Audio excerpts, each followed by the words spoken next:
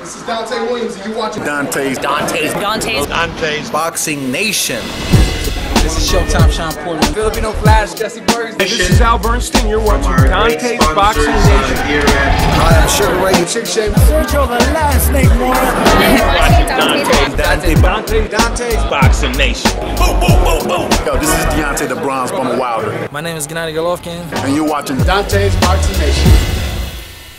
Hi, this is Julian Jackson, and this is Dante Boxing Nation. This is Julian Jackson, and you're watching Dante's Boxing Nation. All right.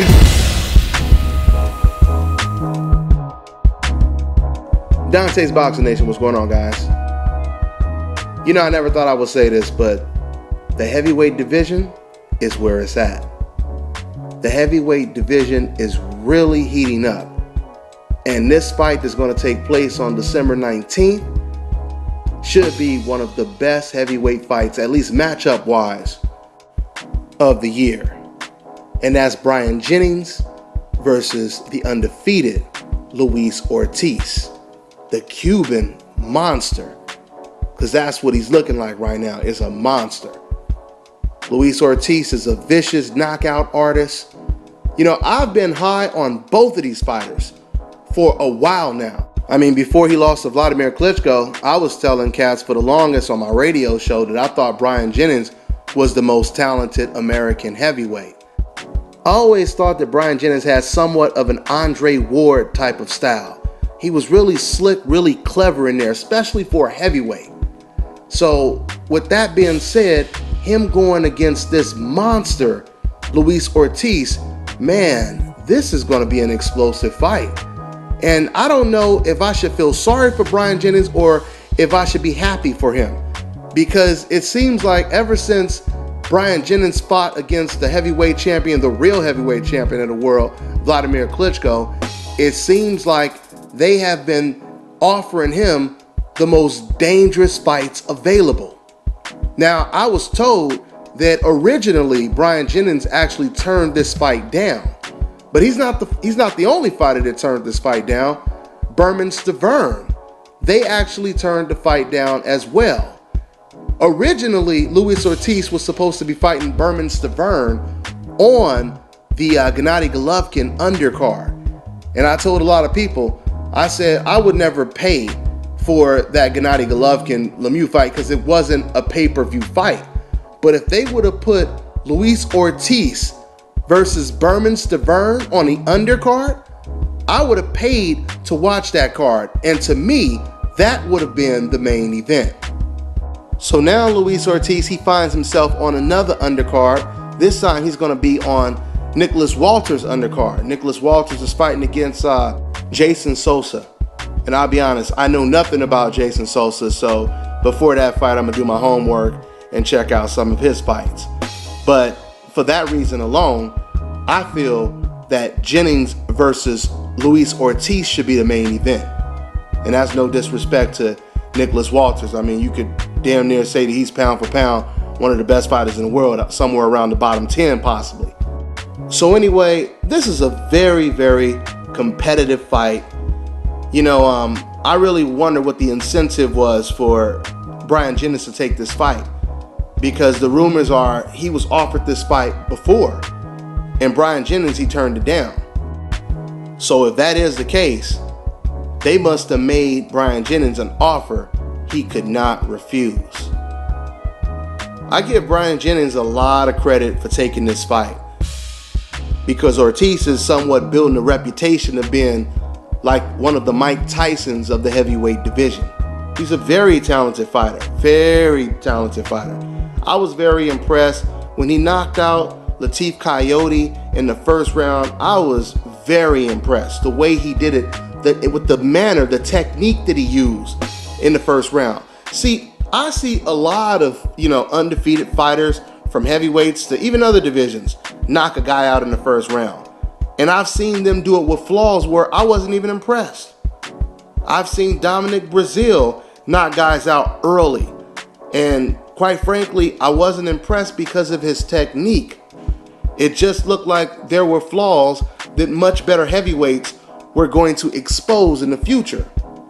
But with Luis Ortiz, the way he knocked out Lateef Kayode, he did it with technique, man. He did it with technique. You know, little jump back steps, counter punching, and then when he counter punch, he explodes with combinations and explosive power. And then he just knocked Kayode out. Kayode had never been knocked out before. And Lateef damn near knocked him out cold. He had him doing the stanky leg all around the damn ring. Okay? Now, the only asterisk on that performance, and it's kind of a big one, is the fact that Luis Ortiz, he failed a drug test afterwards, and that fight ended up being overturned to a no contest. And I believe Luis Ortiz was suspended for a year. Now, the question a person like myself will always have is after you get busted for taking whatever type of banned substance you took, were you only good because of what you took? Was that just the PEDs that was looking good in there against Lateef Kayode? Or was that really his skill? Can he perform like that without cheating, without failing the test? And we got the answer to that question because since his return, he's knocked out two opponents back to back in the same type of fashion that he knocked out Lateef Kayode. So I'm really stoked about this fight. I can't wait to watch it. Once again, the heavyweight division is popping right now. And I would say within another year, we are going to damn near see somewhat of a heavyweight tournament because all of these guys are eventually going to start fighting. Deontay Wilder is going to most likely have to step up and fight against his number one contender, Alexander Povetkin. You have Klitschko versus Fury. You have Anthony Joshua versus Dillian Whyte. You have Andy Ruiz, who I can't wait to see Andy Ruiz step up because he's going to really test an opponent's heart and how they deal with pressure. Because Andy Ruiz, he has a terrific chin and he has a lot of technique for a heavyweight. So I can't wait to see him step up against another one of these undefeated rising young heavyweights. Now, my new favorite out of all of the young heavyweights coming up is a guy by the name of Charles Martin. I'm really, really impressed with this guy, Charles Martin. I am always impressed with the technique, the sweet science, because at the end of the day, that's what it's about. That takes you the furthest in this sport. And Charles Martin, who fought on Deontay Wilder's undercard against um, Duhaupas, I felt that he put on the best performance on that undercard. Little technique, and you know what? I was bringing in my son to to watch some of the things that he was doing because me and my son we've been working on the touch jab at the at the gym. You know, just setting up all different type of combinations off the touch jab. You know, you'll see Floyd Mayweather, he's a master at doing that. If you ever you go back and you watch what he was doing with Canelo, he'll start just touching you with the jab just to create a diversion. And while you start locking in on that touch jab, all of a sudden a right hand comes out of nowhere. And then it hits you on the other side of your face. Or it may hit you in your solar plexus. You don't know where you're going to get hit because you're so focused on that touch jab. So this is what Charles Martin was doing. He's a southpaw, by the way, as well. He's like a six foot five southpaw. And like I said, this guy fights like a welterweight. Okay? And he has power. Another heavyweight that you guys really need to keep your eyes on is Joseph Parker. So, you know, there's a lot of talent in the heavyweight division. So, with the division popping like this, I wouldn't be surprised if Vladimir Klitschko tries to stick around. Because since Klitschko has been dominating, the heavyweight division has never been popping like this. Okay? Once again, with fighters like Anthony Joshua Deontay Wilder that brings the charisma. And if he continues to win, if he continues to to build his name, right? That fight right there is going to be huge. Especially if Deontay Wilder has to fight his mandatory Povetkin and he beats him. If Deontay Wilder beats Povetkin, then I would be impressed. And I would deem that as his final exam. Okay? Of course, he would then have to beat the man, the real champion.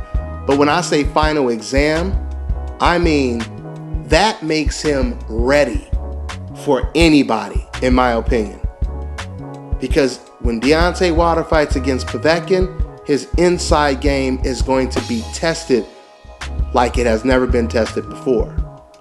So, so without going too far off the subject, I'm gonna go ahead and end this video right now. That's all I got. I'm on to the next one.